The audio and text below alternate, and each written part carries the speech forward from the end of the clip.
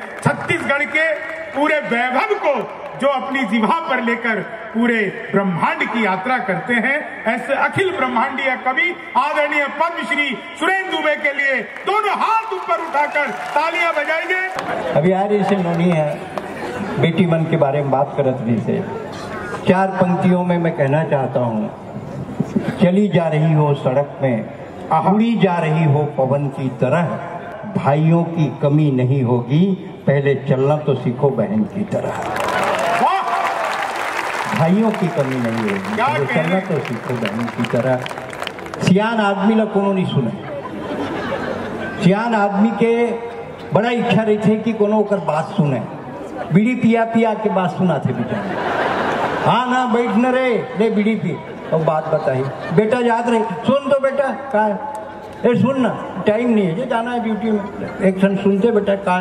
हमर जमाना में, ये नामगांव बस स्टैंड में ना, एक आना फुट ज़मीन रही से तो लेते नहीं, जो, चार सौ एकड़ है। हमर जमाना में एक रुपया धर के जान, एक बोरा सामान लाना। लानत रहे हो बे वो जमाना में दुकान में सीसीटीवी कैमरा नहीं रही से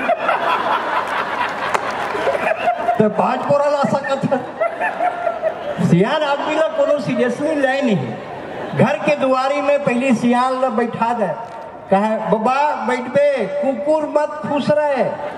अब जमाना बदल गए कुकुर ला बैठा देते बाबा मत खुश रहे। बहुत संकट है। अच्छा। अब बाबा हर परछिन सुते ओकर बहू आई बाबा चाय पीबे? नहीं लागे नहीं लागे। बाबा पानी पीबे? आहा नहीं लागे जा अपन काम बूता करे डहार लेटर। एक घंटा बाद ओकर बेटा आ गए कोनो चाय पानी पर पूछीस का बाबा? कौन पूछी बेटा? कौन पूछी? बिहनिया ले कुकुर बरोबर बंधाए हो, कोनो तो दाई जिए तरी सब किस्म किस्म के खवाए बेटा, कौन पूछी? सियान आदमी ने टकल, एक्सपायरी डेट की दवाई है, फट में रिएक्शन करते सियान आदमी के सबसे ज़्यादा कीमत है बिहाव में। अटक बड़े पगड़ी बाँध दी आगुम खड़े कर दी। हमार मुड़का सियान है। समझी भेंट ही करी।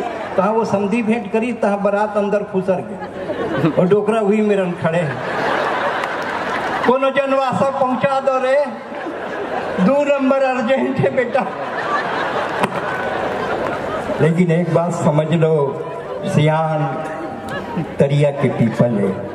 सियान आखिरी तक सुने, खैरागढ़ से जिन मना है तेनो मन सुने।